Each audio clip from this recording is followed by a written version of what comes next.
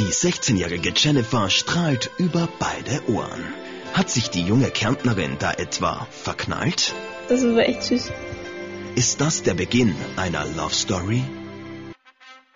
Eigentlich sollten sich die Austrias Next Topmodel-Kandidatinnen heute ausschließlich auf den Sport konzentrieren. Denn am Militärplatz in Linz werden die Mädchen auf die Härten im Modeljob vorbereitet.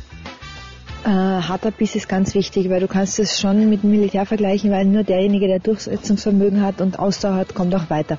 Weil das hat jetzt nicht unbedingt etwas zu tun mit ich fliege von A nach B, sondern eher auch mit Shootings, wo teilweise körperliche Anstrengung äh, gefragt ist, äh, auch mit Disziplin in Kälte ausharren und so weiter. Also es ist nicht einfach nur so, dass man das zum Spaß macht.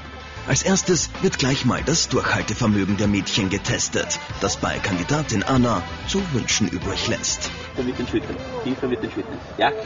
Oh, das geht nicht. Oh. Na bitte. Was, was? Was heißt, es geht nicht, Anna? Beim Laufen stoßen die Kandidatinnen erneut an ihre Grenzen. Doch dann bekommt Jennifer Hilfe von einem jungen Soldaten. Ja, also ich habe mir gedacht, sie tut sich vielleicht leichter, wenn neben mir wer läuft und ihr ein bisschen hilft dabei. Und ja, es hat ganz gut geholfen.